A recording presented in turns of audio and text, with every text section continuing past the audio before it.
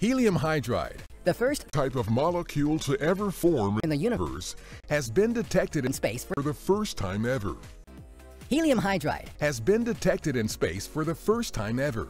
the first type of molecule to ever form in the universe Has been detected in for the first time ever.